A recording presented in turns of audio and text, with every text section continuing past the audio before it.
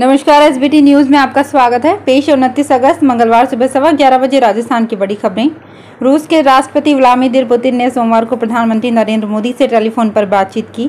दोनों शीर्ष नेताओं ने द्विपक्षीय सहयोग के कई मुद्दों पर प्रगति की समीक्षा की और जोहान्सबर्ग में हाल ही में संपन्न ब्रिक्स शिखर सम्मेलन सहित आपसी चिंता के क्षेत्रीय और वैश्विक मुद्दों पर विचारों का आदान प्रदान किया।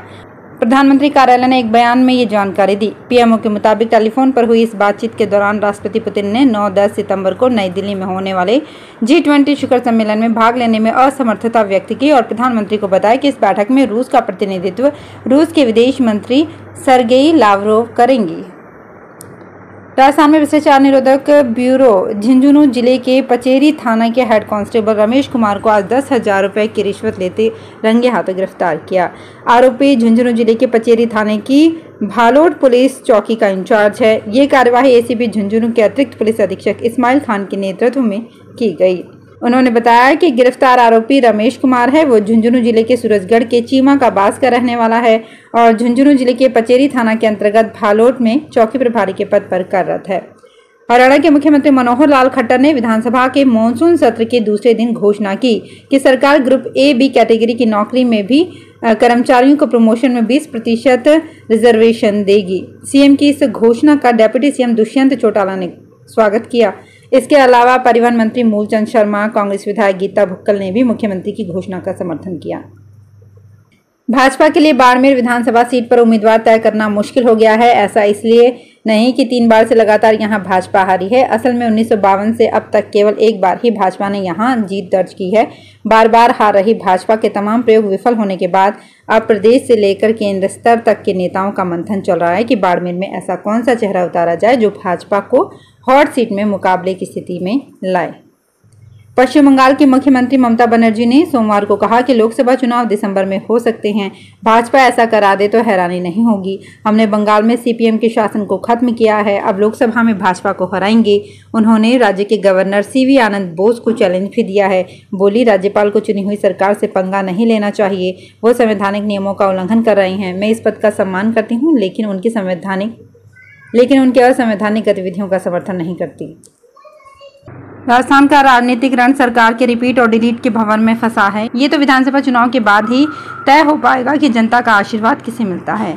फ़िलहाल कुछ सीटें दोनों पार्टियों के लिए गले की हड्डी बनी हुई है। दोनों ही राजनीतिक दल अपनी अपनी कमज़ोर सीटों पर पहले पत्ते खोलने की तैयारी में है ताकि सबसे पहले इन सीटों पर प्रत्याशियों की घोषणा होने से इन्हें प्रचार और जनता में पैठ बनाने का ज़्यादा समय मिल सके।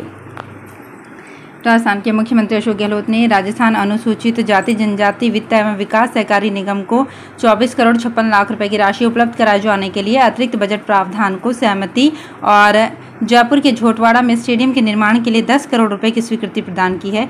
निगम को ये राशि ऋण, माफ़ी की तृतीय एवं अंतिम किश्त के रूप में जारी की जाएगी। हर साल की तरह इस बार भी रक्षाबंधन पर महिलाओं के लिए रोडवेज़ बसों में निःशुल्क यात्रा की स्वीकृति सीएम अशोक गहलोत ने दे दी है। ऐसे में रक्षाबंधन के दिन 30 अगस्त बुधवार को महिलाओं के लिए प्रदेश की सीमा में सभी रोडवेज़ बसों में यात्रा निःशुल्क रहेगी, लेकिन इस बार निःशुल्क यात्रा का पूरा लाभ महिलाओं को मिलने की संभावना नहीं है।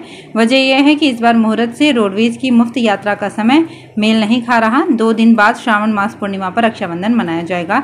इस बार रक्षाबंधन सूत्र बांधने का ज़्यादातर समय रात्रिकालीन है। अमूमन महिलाएँ रात को यात्रा से बचती हैं। राजस्थान के मुख्यमंत्री अशोक गहलोत ने पूर्वी राजस्थान नहर परियोजना को लेकर प्रधानमंत्री नरेंद्र मोदी और केंद्रीय मंत्री गजेंद्र सिंह शेखावत पर फिर से निशाना साधा है। मुझे संदेह है कि मंत्री के इशारे पर ही मध्य प्रदेश सुप्रीम कोर्ट गया है। गहलोत ने एक मीडिया से बातचीत में कहा कि अगर प्रधानमंत्री देश में एक और राष्ट्रीय परियोजना घोषित कर दे तो इससे क्या फ़र्क पड़ने वाला है? देश में 16 राष्ट्रीय परियोजनाएँ चल रही है। अगर राजस्थान के हित को देखते हुए ईआरसीपी को राष्ट्रीय परियोजना घोषित कर दिया जाता है तो इससे राजस्थान का भला होगा। रिश्वत लेने और नकली दवाओं के मामले में निलंबित चल रही एसपी दिव्या मित्तल के झुंझुनू के पिलानी रोड स्थित पैतृक आवास पर सोमवार सुबह चूरू की एसीबी टीम ने तलाशी अभियान चलाया। एसीबी कोर्ट अजमेर के आदेश पर यह कार्रवाई हुई। सोमवार सुबह चूरू एसीबी टीम चिड़ावा पहुँची और दिव्या मित्तल के भाई निखिल की मौजूदगी में सीज पैतृक मकान को खोला और मकान की तलाशी ली। चार घंटे के सर्च के बाद दोपहर करीब डेढ़ बजे एसीबी टीम खाली हाथ लौट आई। केंद्रीय मंत्री गजेंद्र सिंह शेखावत द्वारा किए गए मानहानि के केस में आज एक बार फिर सीएम अशोक गहलोत दिल्ली के राउज एवेन्यू कोर्ट में पेश हुए। आज कोर्ट में गहलोत की ओर से प्रार्थना पत्र पेश करके कहा गया कि मामले में शिकायतकर्ता तीन पेशियों से उपस्थित नहीं हो रहे हैं।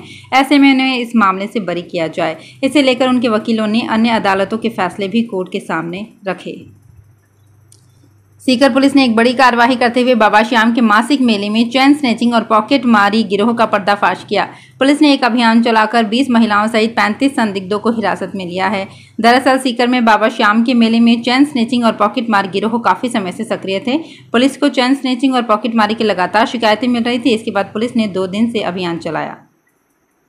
युवक कांग्रेस के राष्ट्रीय सचिव एवं राजस्थान सह प्रभारी धीरज सिंह ने आगामी विधानसभा चुनावों में टिकट वितरण में संगठन की अहम भागीदारी होने का दावा किया है।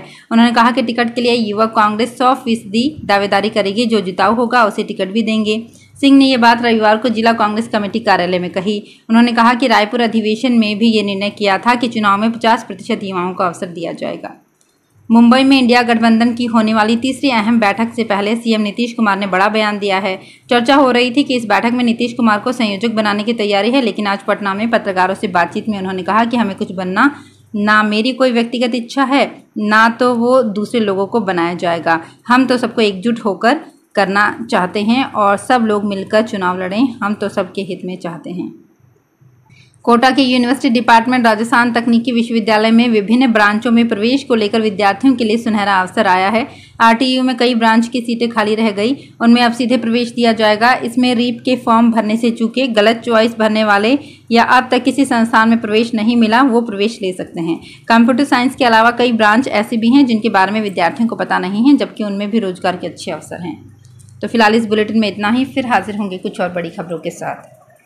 अगर आप भी अपने आसपास की छोटी बड़ी और महत्वपूर्ण खबरों से अपडेट रहना चाहते हैं तो सब्सक्राइब कीजिए हमारे चैनल एसपीटी न्यूज़ को और प्रेस कीजिए बेल आइकन पर।